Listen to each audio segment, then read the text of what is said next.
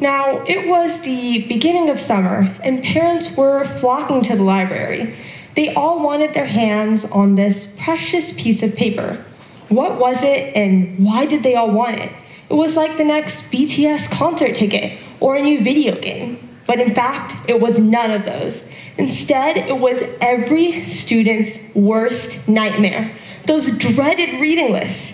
Now, every year, the Cerritos Library would release a new reading list, and I would go to the library and read all of the books on the list by the end of summer. It was like a time test. I had to finish all of them, and it was like reading was a chore now. It wasn't something that I was enjoying. And traditional education has overall made reading something that isn't so enjoyable. And it's more than just being forced to read books, but the underlying issue that reading lacks representation.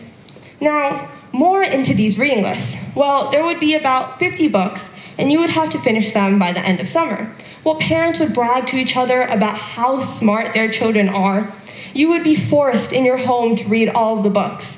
And honestly, it felt horrible because I began to hate reading. Something that's supposed to promote imagination, something that's supposed to be fun, an activity that you do to go into another world and learn more about these characters and get immersed into something different. But it didn't feel that way at all.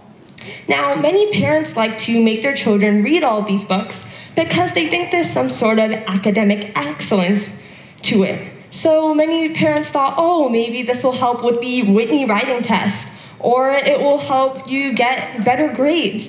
But that wasn't really the case. Instead, these books forced me to close my horizons. I couldn't read a wide array of books. I couldn't read the genres I enjoyed. Instead, I was forced into a small group of books. I had to balance my fiction to my nonfiction and be careful about what books I'm choosing. But that isn't really the way that reading is supposed to be. Now, here's a reading list from when I was in fifth grade. It doesn't look harmful when you look at it with a first glance, but when you look carefully, all of the authors on this list are from European descent. Not one is a person of color.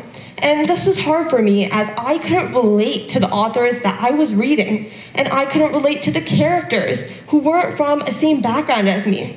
And many other students I know felt the same way because they wanted to hear their own voices, their stories, or learn more about their fellow peers. But instead, these books showed one side of the coin. They didn't show different perspectives. And frankly, our history textbooks are the same way. And it's important that we change this so that all students feel included. Now, moreover, traditional education promotes conformity, and it's buried in a mountain of elitism.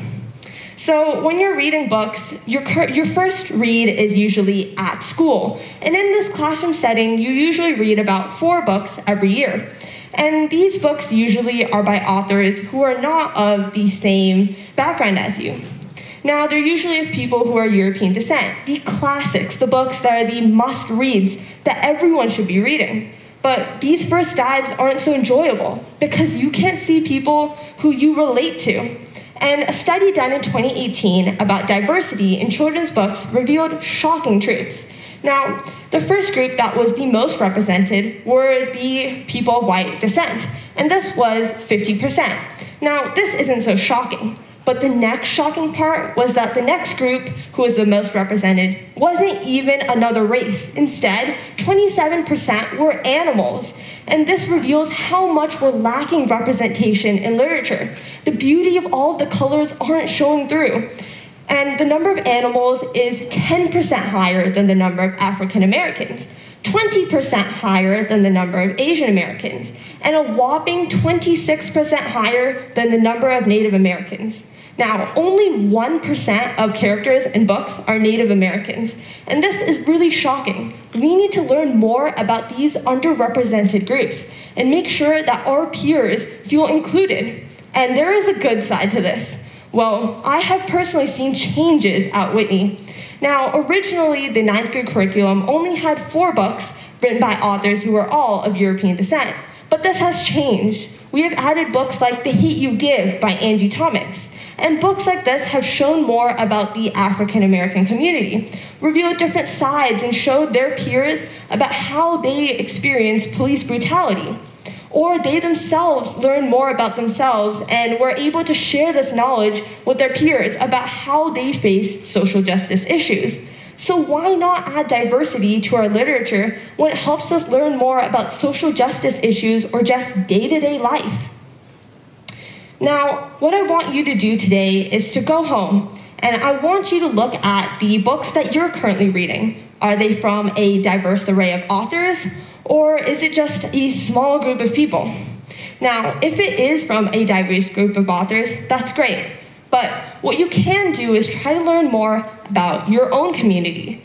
I've personally tried to make changes where I've tried to learn more about the Indian community. I've read books like The White Tiger or a book called The Road to Mumbai when I was younger.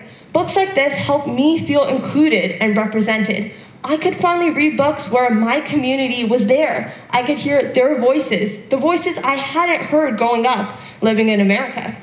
And many others feel the same way when they try to dive into books from their own community. And if you've already done that, maybe you can look at books from diverse groups that aren't from your own to learn more about how they feel.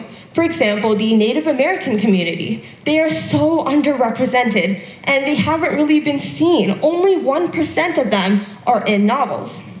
Or if you've already done that, you can look to talk to your local leaders. Tell them about how you find a book so interesting and why it should be a part of your curriculum.